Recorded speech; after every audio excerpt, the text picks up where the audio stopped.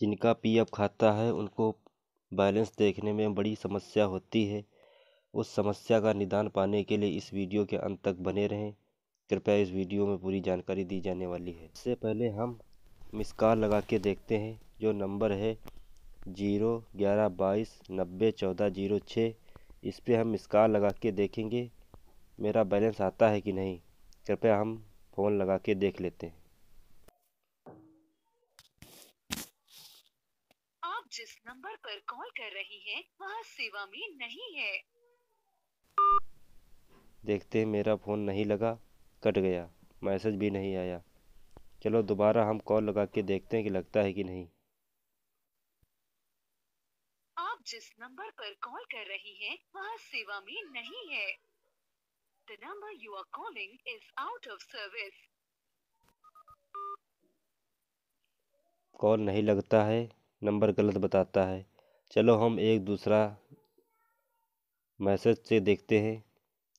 Message में E, P, F, O, H, O, space, U, A, N लिखना है। और हम अपने रजिस्टर मोबाइल नंबर से सतहत्तर, अड़तीस, उनतीस अट्ठानबे निन्यानवे हम अपना नंबर डाल लेते हैं सतहत्तर, अड़तीस, उनतीस अट्ठानबे और निन्यानवे। पे सेंड कर देंगे। देखते हैं मेरा बैलेंस आता है कि नहीं पीएफ का। हमने सेंड कर दिया। सेंड करने के बाद देखते हैं मेरे पीएफ का बैलेंस आता है या नहीं। देखो मेरा मैसेज आ गया पीएफ का तुरंत। अब इस बैलेंस को देख सकते हैं। आपका पी एफ़ का बैलेंस कितना है।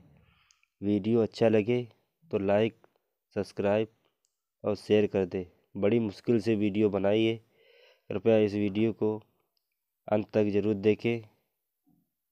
धन्यवाद।